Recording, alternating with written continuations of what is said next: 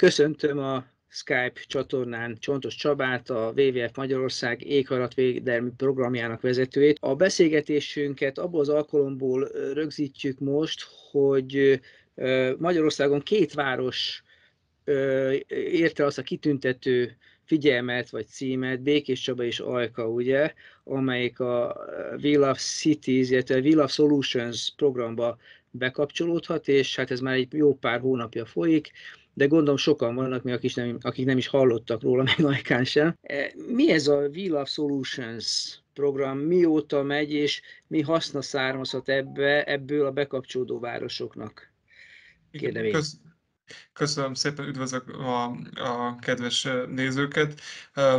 Egy kicsit hátrább lépnék a Will Solution-től első körben, hogy hogy is került szóba az, hogy a WWF Magyarország, mint egy klasszikus természetvédelmi szervezet, legalábbis sokak fejében ez a kép él, hogy miért foglalkozik éghajlatvédelemmel, energiával. Nekünk ez a programunk azért jött létre, mert azokat az élőhelyeket, amiket meg szeretnénk védeni, a biodiverzitást, a biológiai sokféleséget csak úgy lehet, hogyha foglalkozunk a klímaváltozással és az azt okozó emberi hatásokkal, így az energiafelhasználásunkkal is és a programon belül kiemelt szerepet szentelünk annak, hogy a városok klímastratégiáját igyekezzünk egy picit felülvizsgálni, illetve olyan tanácsokat adni a városoknak, hogy hogyan lehet még jobbá tenni ezeket a, a terveket, illetve a gyakorlatban hogyan lehet ezeket megvalósítani, és így indult el ez az Európai Uniós LIFE-os pályázatunk, ami támogatást nyert, és ez a LIFE-os projekt rendkedvéért kimondom a nevét, ebben vannak még különböző programelemek, így például a We Solution is, mert azt valljuk, hogy nem lehet az emberek nélkül, az emberek szemléletformálása, az emberek bevonása nélkül igazi hathatós eredményeket elérni. Szóval a We Solution erre tesz egy lépést, hogy az ajkai és békés csabai lakosokhoz közelebb hozzák a fenntarthatósággal kapcsolatos, városi fenntarthatósággal kapcsolatos kérdéseket és témákat. Mondhatjuk, hogy egy pilot program, mert ugye két városnál több van Magyarországon, nem is tudom, pár százzal most már, hogy me, me, me, milyen terjeszkedési ütemmel számolnak. Hát gondolom, akkor lesz az igazán hatékony, ha a városok legalábbis meg, megfelelő nagy hányada bekapcsolódik ebbe a programba. Így van, a mi projektünk ennél kicsit kisebb, itt kétszer két éves programról van szó, most vagyunk az első két évnek a felénél, és ebben az első két évben foglalkozunk Ajkával és Békés Csabával, és a következő két évben, 2027-ig pedig kettő újabb magyar várossal fogunk foglalkozni, és valóban ez egy pilot, egy, egy ilyen tesztkör, nagyon sok újdonságot hozunk most be, és valószínűleg a második két évben már ezeknek a, ezeket a tanulságokat is be tudjuk tudjuk építeni. Viszont az, hogy Magyarországon a városoknak legyen klímastratégiájuk, az kulcsfontosságú. Nagyon sok városnak van is, de nagyon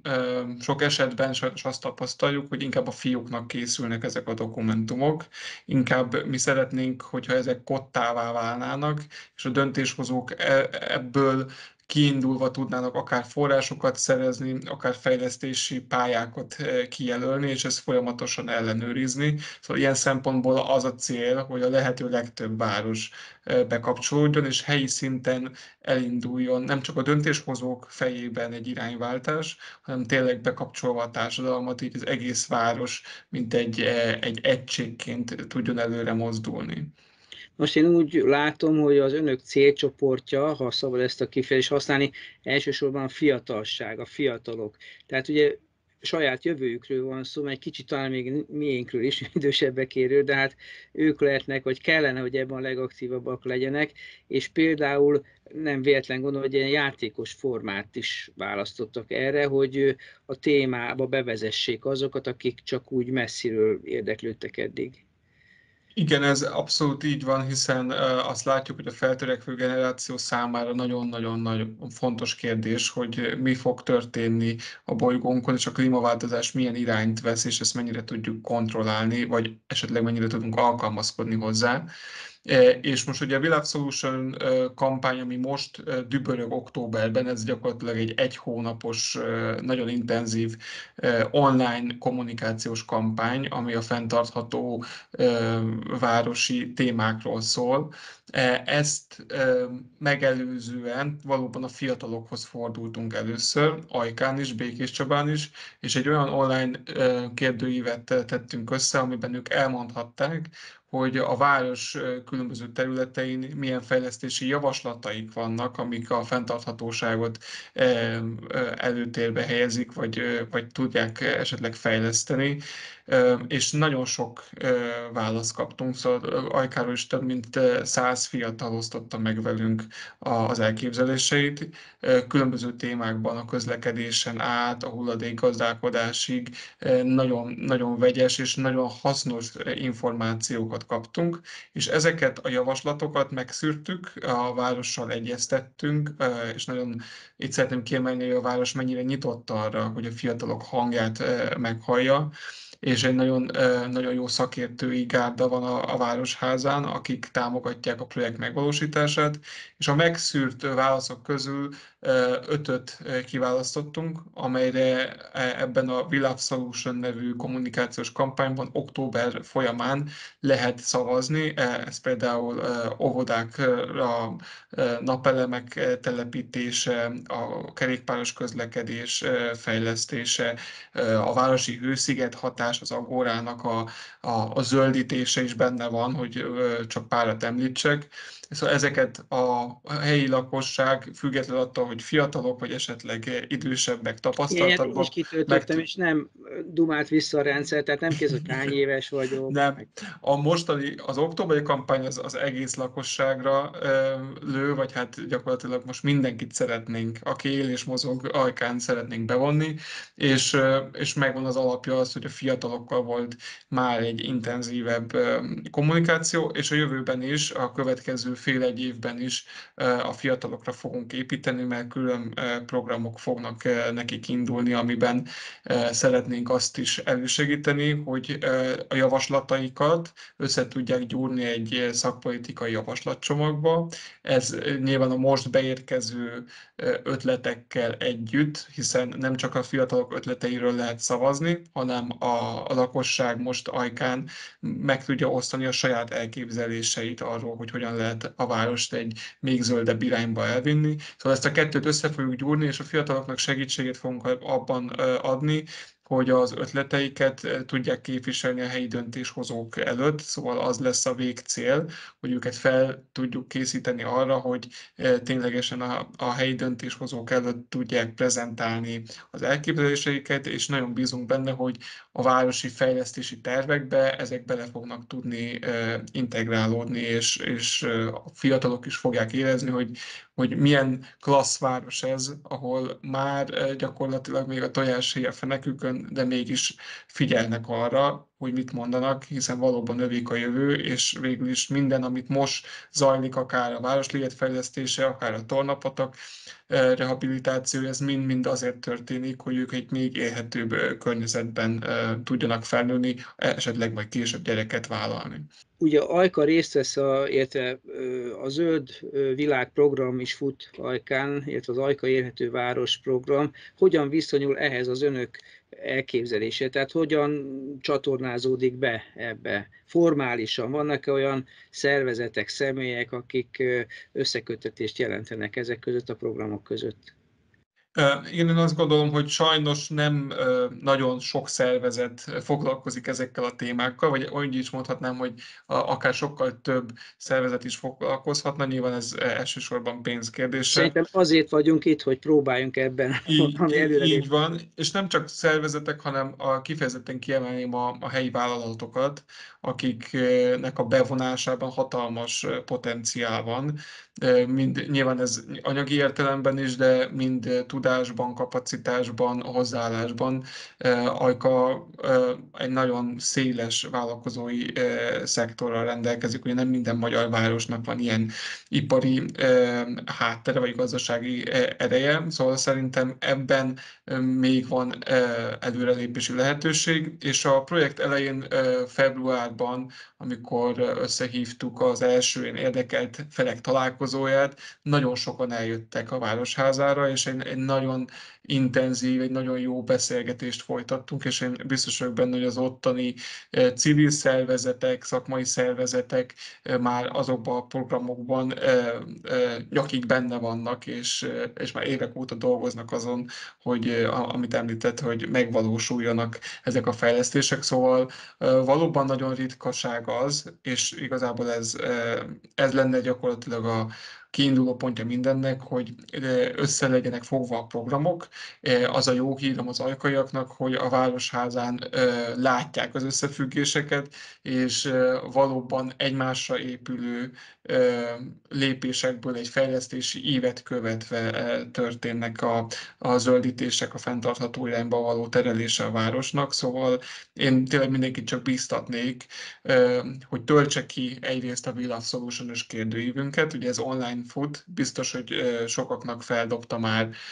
a telefonja, vagy akár más eszköze ezt a kérdőjét, és hogyha kitöltötte, akkor egy-két ismerősének, barátjának, családtagjának küldje el, mert, mert itt barátságos verseny van, nem csak a magyar partnerváros Békés Csabával, hanem portugál, illetve román településekkel is. Nyilván itt